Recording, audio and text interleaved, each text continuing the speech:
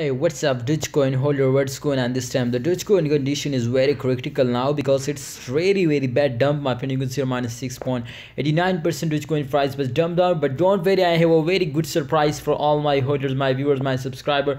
Kindly, uh, this is does not mean to you are starting selling. You are doing this mistake, so please be safe from lost and 100% you will be get a profit if you do this. What I tell you, my friend, the chart condition is very critical now because from last uh, 24 hours, especially, they were very badly dumped down down in holder are starting selling so therefore i think they are doing very huge mistakes. So don't do this mistake. As you can see here 20.89 billion the market cap of this coin my friend. So i think that is really high now and the 24 hour volume is 7 752.91 million uh, million. Sorry. So therefore that's mean to the market cap the volume is decreasing. You can see here.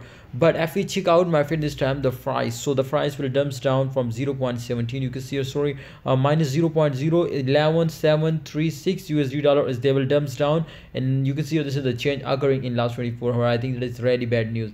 If we check out the market stats. So my friend as you can see here already total supply 132 my friend. And uh, about Dogecoin if we check out my friends so as you can see this is one of the best coin in the crypto market. Definitely they will uh, dumps down for a short time. But after that they will again pumps up and completely give you a very huge profit. So therefore my advice my opinion is for all my viewers my subscribers to kindly don't starting selling.